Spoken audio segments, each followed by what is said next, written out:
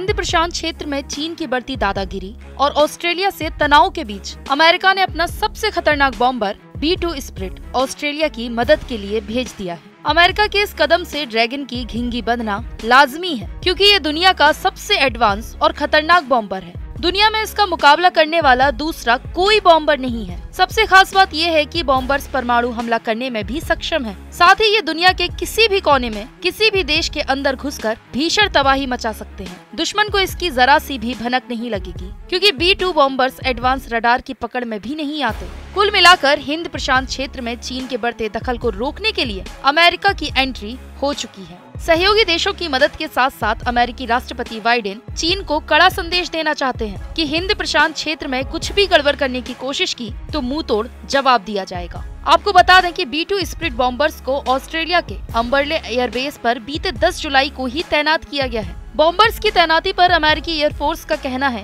कि हिंद प्रशांत क्षेत्र को स्वतंत्र और मुक्त बनाने के लिए प्रतिबद्ध है। इसके लिए सहयोगी देशों के साथ नियमित ट्रेनिंग और प्रैक्टिस बेहद ज़रूरी है। आपको ये भी बता दें कि अमेरिका का स्ट्रेटेजिक कमांड नियमित तौर पर बॉम्बर्स के टास्क फोर्स ऑपरेशन को दुनिया भर में आयोजित करता है। अगस्त 2020 में भी इन बॉम्बर्स को हिंद प्रशांत क्षेत्र में तैनात किया गया था। लेकिन इस वक्त इन बॉम्बर्स की तैनाती चीन के ऊपर रणनीतिक दबाव बनाने की कोशिश है। क्योंकि इस वक्त ऑस्ट्रेलिया और चीन के बीच टेंशन बढ़ती जा रही है। चीन से निपटने के लिए ऑस्ट्रेलिया ने ब्रिटेन और अमेरिका के साथ ऑकस समझौते पर हस्ताक्षर किए हैं। इस समझौते के तहत अमेरिका ऑस्ट्रेलिया के लिए न्यूक्लियर सबरीन बना रहा है। अब बात करें बी टू स्प्रिट बॉम्बर्स की खासियत की तो इनका निर्माण 80 के दशक में शुरू हुआ था, जब कोल्ड वॉर चल रहा था।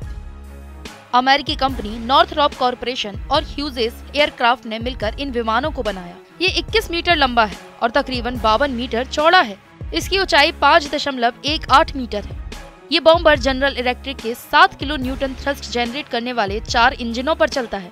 बी टू का वज़न इकहत्तर हज़ार सौ किलो है। वहीं इसका मैक्सिमम टेक ऑफ़ वेट एक लाख सत्तर हज़ार छह सौ किलोग्राम है। यानी ये हैवी वेट कैटेगरी का बॉम्बर है। ये बॉम्बर एक हज़ार दस किलोमीटर प्रति घंटे की ज़बरदस्त रफ्तार से पचास हज़ार फीट की ऊंचाई पर उड़ सकता है। इसकी मैक्सिमम रेंज ग्यारह हज़ार किलोमीटर है। यानी ये दुनिया के किसी भी कोने में जाकर तबाही मचा सकता है। इसमें मिड एयर रिफ्यूलिंग की सुविधा भी मौजूद है। यानी उड़ान के दौरान इसमें ईंधन भरने से इसकी रेंज उन्नीस हज़ार किलोमीटर तक बढ़ाई जा सकती है। ये बॉम्बर किसी भी तरह के बम ले जाने में सक्षम है। फिर चाहे वो परमाणु बम ही क्यों न हो, अपनी इसी क्षमता की वजह से ये महाबली बॉम्बर दुनिया में अनोखा है। बी टू बॉम्बर ने कई जंगों में अपने आप को साबित किया है। उन्नीस सौ निन्यानवे में कोसवो वॉर में पहली बार बी टू बॉम्बर का इस्तेमाल किया गया था, जिसमें इसने सीरिया में भयंकर तबाही मचाई थी। अफ़गानिस्तान में चलाए गए ऑपरेशन इंड्यूरिंग फ्रीडम में भी बी टू बॉम्बर ने भयंकर बमबारी की थी। इराक, लीबिया और आईएसआईएस के खिलाफ ऑपरेशन में भी ये बॉम्बर अपनी ताकत दिखा चुके हैं। हालाँकि अमेरिकन एयरफोर्स इन आइकॉनिक बॉम्बर्स को 2032 तक रिटायर करने का सोच रही है।